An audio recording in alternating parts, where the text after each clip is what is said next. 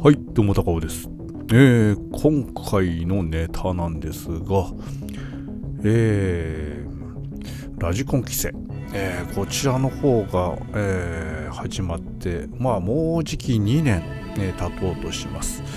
えー6月20日、え2年前の、えー6月20日に施行、えーされてまして、まあ、それからまあ結構皆さん、えー辞めたということなんですが、まあ、それでも頑張って続けてる方にも、えー朗報があります、えー一部規制緩和、え登録に対する規制緩和がね、え出ていまして、えそれに対する意見募集というのが今やっておりまして、えその概要をちょっとね、え見てみたいと思います。航空法施行規則の一部を改正する省令案について概要1背景無人航空機の登録にかかる手続き等については航空法昭和27都市法律第231号以下法というに基づき航空法施行規則昭和27都市運輸省令第56以下規則というにおいて定められている無人航空機の飛行の安全のさらなる向上を図るため令和4年6月から無人航空機の登録が義務化されているがこれは娯楽を目的とした無人航空機であるラジコン機。以下ラジコン機というにも適用されておりラジコン機利用者から登録手続き等の負担が大きいといった意見が寄せられていたところこれを踏まえ今般登録手続き等にかかる利用者負担の軽減を図るためラジコン機の離陸場所または着陸場所以下離着陸場所というを管理する団体以下離着陸場所管理団体というの所属員が飛行させるラジコン機については当該団体が必要な事項を事前に届け出ることにより飛行空域を限定する人しの一定の要件の下で個別の機体の登録を不要とする人し所要の改正を行うまた住民基本台帳法昭和42都市法律第81号の改正に伴い戸籍の不評の写しに本人特定事項のすべてが記載されることになったことから無人航空機の登録に必要な申請書に添付する資料にかかる規定を改正する。2概要。1無人航空機の登録が不要となる飛行の要件。第236長関係。1法題132章の似た出し書きに基づく無人航空機の登録が不要な場合を規定する規則第236章について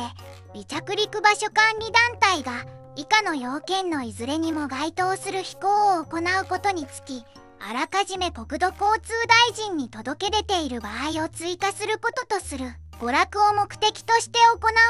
あること。管理する離着陸場所周辺の区域及び高度において行うものであること。離着陸場所管理団体に所属する者が行うものであること。飛行以外の機能及び目視外飛行の機能。自動操縦の機能を含む。お有しない機体であって国土交通大臣が定める基準に適合する機体によって行うもので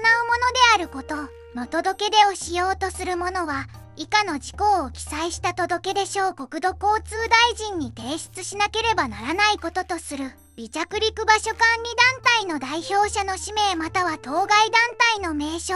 住所及び電話番号電子メールアドレスその他の連絡先離着陸場所区域及びコード無人航空機を飛行させる者の氏名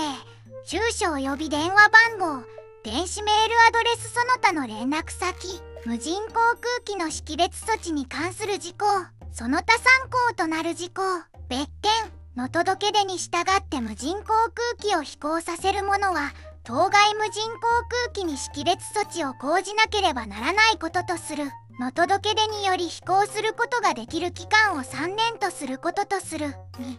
無人航空機の登録に必要な申請書の添付書類。第236小の三関係第2項第1合意中戸籍の謄本もしくは小本戸籍の不評の写しが添付されているものに限る。を戸籍の不評の写しに改めることとする。3その他の他所要の改正を行うこととする。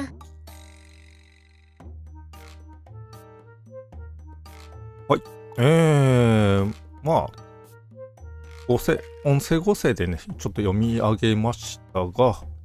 まあ、ちょっと小難しい言い回しがあるので、ちょっと自分なりの、えー、解釈の方で、えー、言ってみたいと思います。えー、やはり、えー、趣味で飛ばされてる方、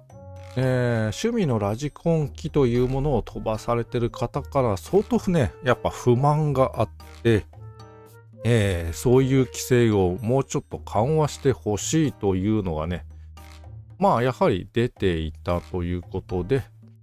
えー、それに対応するため、ラジコン機、えー、ホビーの、えー、機体に関してのみの、えー、規制緩和になります。えですので、ドローンとか、えー、のやつだと緩和にならない可能性がね、すごい高いですし、えー、ちょっとね、まあ、関係者の方にお伺いしたら、えー、FPV、ね、これのドローンレーサーの方ですね。えー、FPV は、えー、FAI 規定にある機体ということなので、えー、これはもしかすると、えー、機体登録と、えー、リモート ID がいらないという可能性が出てきます。ちょっとね、まだこれ、完全に動いてるわけじゃないんでわからないんですけど、えー、まあ見ていきますと、えー、まず、必要なものはクラブですね。えー、クラブの、え登録が必要、代表者が必要ということみたいです。で、それに伴って、えー、代表者が国土交通大臣に提出しなければならないのが以下のものということで、まあ、団体名、クラブ名と代表者名と、その、えー、住所及び電話番号と、えー、電子メールアドレスなどの連絡先、えそして、えー、離陸場所、えー、こちらのあと、あと、空域及びコード。まあ、これ、ロックの時と同じような、まあ、セッティングなんでしょうか。で、無人航空機をさせ、飛行させる者の氏名及び住所、要はクラブ員の住所録を、えー、必要ということみたいです。そしてちょっとね、自分が今理解してないのが、この、えー、無人航空機の識別処置というのが、え、リモート ID はいらないという話なんですけど、これはどうなるのかなという感じですね。えー、クラブ登録しとけば、そのクラブの ID があるのか。これがね、ちょっと曖昧ですけど、えー、あと、そうですね、3年、えー、この登録、えー、クラブ登録は3年を有効とするということらしいです。え、無人航空機の登録に必要な申告書類について、戸籍謄本？の写し。これは何なんでしょうかね？戸籍謄本なの？うん。ちょっとね、これは、ちょっと、うん、うん、うん。戸籍を取ってくるの？っていう方なんで、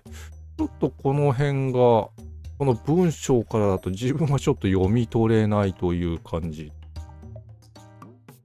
えー、まあ、また関係者のね、話に戻りますけど、えー、クラブ登録したクラブ飛行場で飛ばすのであれば登録は必要ありません。リモート ID も不要です。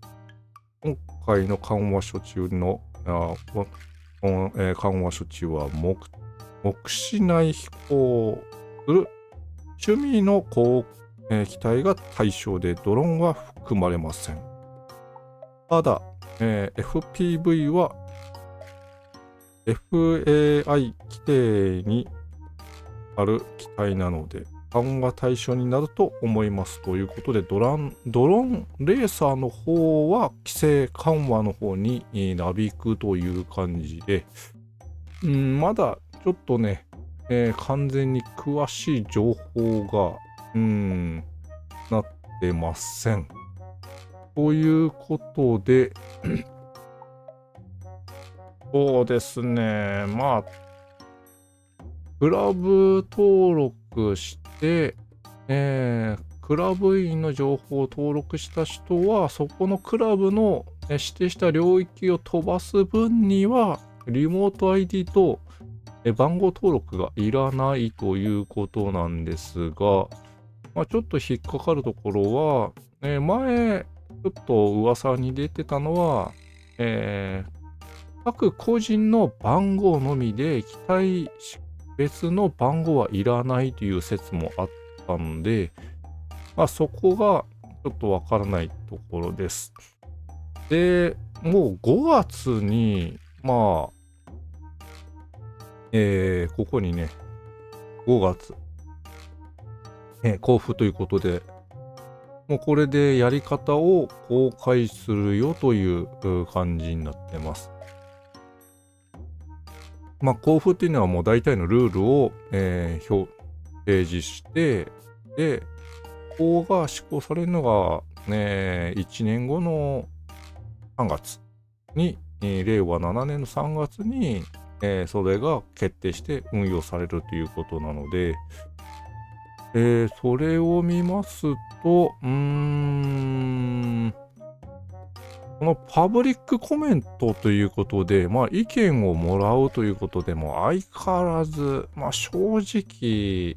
言葉を、ね、伝えても、うーん、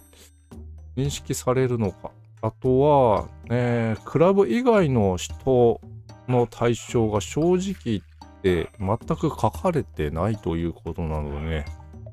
えー、クラブありきの、えー、国保改正になるということで、まあ、ね、単独で飛ばされてる方とかが、まあ、うーん、なんだか取り残されてるなという感じになります。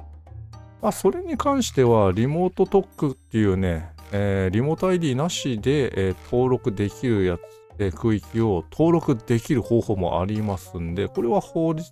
というか、えそのやり方は変わってないということで、これ追加項目と思って、え、もらってもいいみたいです。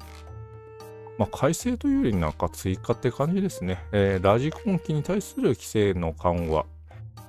をやってるという感じになると思います。もっとね、ちょっと情報が欲しいところなんですがね、えー、詳しい方いたら、えー、コメント欄で教えていただければ幸いでございます。はい。えー、ちょっとね、拙い、えー、情報になってしまいましたけど、ね、もしこの動画良ければグッドマークよろしくお願いします。それでは失礼します。